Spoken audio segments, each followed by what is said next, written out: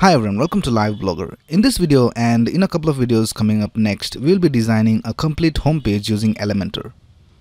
So this is the homepage that we're going to be designing in this tutorial series. And here we can see in the hero section we have a video as the background and then we have some headings and some text over here. And then if you scroll down we can see we have a section for our services and there are different cards over here. When we hover over this we can see we have some drop shadow over here. And even on the icons we have some animation when we hover over them. And then we have this uh, section of completed projects. And uh, we have this counter over here. And uh, they are for websites designed and apps developed. And then if you scroll down we can see some testimonials over here. And at last we have a footer. Here we have the logo. Here we have some links for important pages. And then we have the social media links Alright, so this is what we're going to design in this video series. Alright, so let's get started.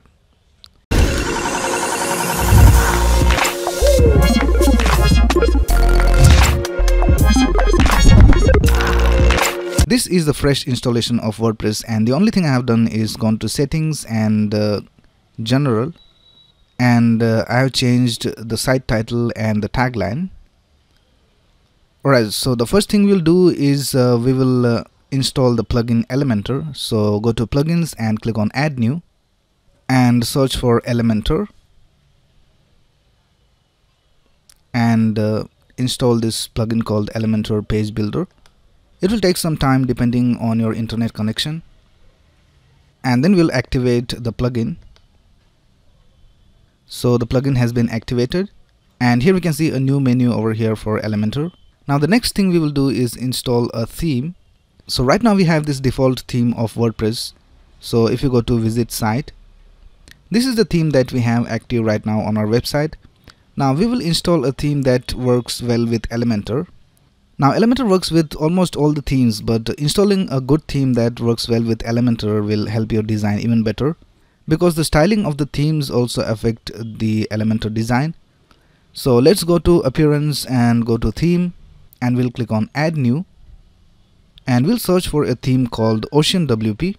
This is an awesome theme for Elementor so let's go ahead and install it and activate it. Alright so our theme has been installed let's visit our site. Alright so this is how our web page looks right now but uh, we'll be changing everything over here and we'll be creating our own design. So the first thing we have to do is create a new page. So go to pages and click on add new. Let's give it a title of home and we'll just leave this uh, content area blank and we'll publish our page. Now our page has been published. Let's view our page. So this is how our page looks. Now what we want is that this page should be shown at the home of our website. So if you type your website name over here then uh, this home page should be displayed over here. But right now it is displayed under your website name slash home. So for that we have to go to settings and then click on reading. And by default your homepage displays are set to your latest posts. Now you have to change it to a static page and you have to select a home page from here. So let's select the page that we just created and then just click on save changes. Alright now if we go to visit our website we can see that the home page is displayed over here. Alright now we have this page set up as the home page. Let's go ahead and design it using Elementor. So go to pages and uh, click on home. And then you have to make a change over here that is go to template and select the template as Elementor canvas and update the page.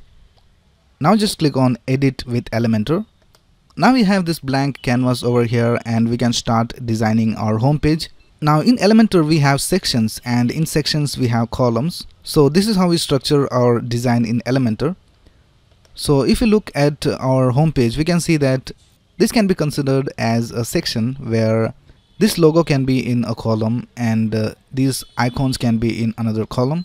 So in short, we need to have a section with two columns. So let's go over here and click on this plus icon and select this structure over here which has two columns. And in the first column, we will have the logo and in the second column, we will have the icons. But before that, let's go ahead and choose the fonts for our design so click on this icon over here and go to default fonts. And here we have different elements and we can select fonts for each of these. So here in primary headline we have the font set as Roboto and weight of 700 we will leave the font as Roboto but we will change the weight to 800 and then in the secondary headline we have the font set as Roboto slab. So we'll change it to Roboto and in body text we have the font as Roboto slab. We'll change this to Roboto as well. And uh, here we have Roboto. So our fonts are set. So let's click on apply. Now click on this icon to view all the widgets. Now first of all we have a logo on the left side. So the logo is basically a heading. So we'll just drag and drop this heading over here. And uh, we will change the text to lb dot and for the logo we want to have a different font. So we can change the font over here as well. So go to style and then click on typography and change the font from here. So we'll change the font to Poppins and we'll change the weight to 900 and we'll increase the size. Right so now we want to change the text color to white or a light color. So we'll just select this color over here. Just select a lighter color alright now on the right side we need to have the icons.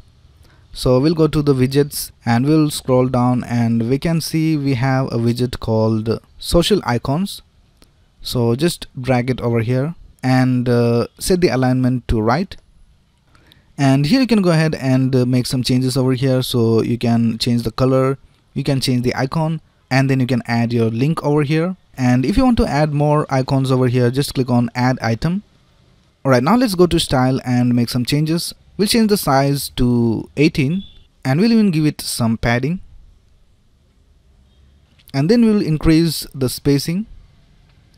Now what we'll do is we'll select this section and uh, then go to advanced and uh, add a z index of 100. So now it will make sure that this section will always be on the top. Now let's do one more thing. Let's go to uh, this column just select this column. So to select the column you have to click on this edit column button. Or if you click inside here uh, it will edit the social icons. So to edit the column go to this uh, icon over here. And then go to vertical align and set it to middle. Now our icons are centered vertically. Alright now the next thing we need to do is add this background video. So we'll go to Pixabay and download a video from there so just set this to videos and uh, search for your term over here. So this is the video that I had used. So let's download it. Just click on free download and uh, select your resolution and click on download. Now we have to add this to our Elementor design. So for that we need to have the link of our video. So first of all we need to upload it to WordPress. So we have to go to the dashboard of our WordPress website and uh, then go to media and click on add new. And just drag and drop this file over here. Right so our file has been added. Now just click on edit and uh, copy this URL from here. And we'll use that in our Elementor design. So let's go back to Elementor and go to the widgets. So first of all we have to add a section so click on add section and uh, for this we need to have just a single column. So just select this single column structure over here. And we'll set the height of this section to fit to screen. And then we'll go over here to style and then go to background and select a video from here. So we'll paste the link of our video over here.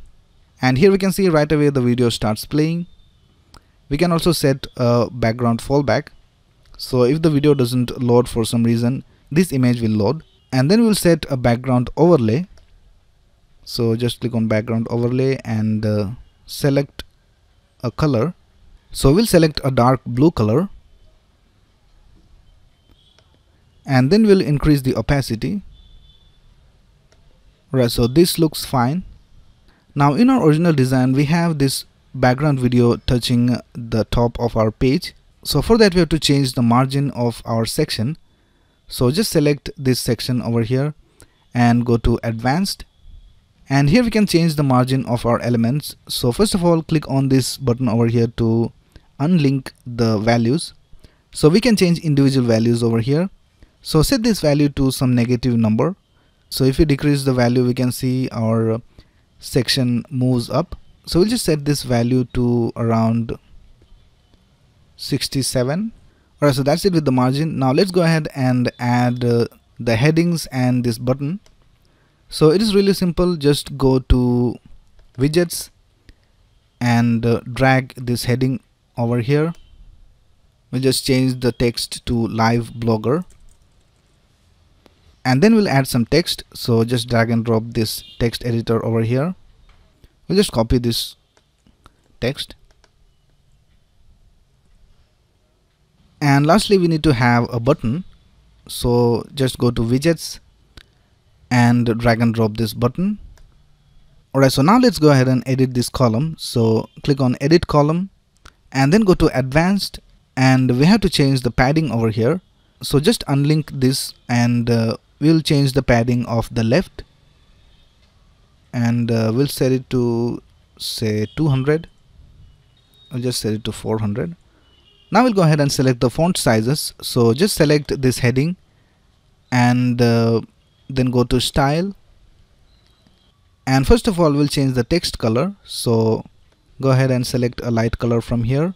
And then we'll go to typography and uh, we'll increase the size. And we'll also change the transform to uppercase. Alright so that's it with our heading. Now let's just remove some margin from uh, the heading so go to advanced and unlink this and uh, then add some negative margin over here. And then for our text editor we will add some negative margin over here.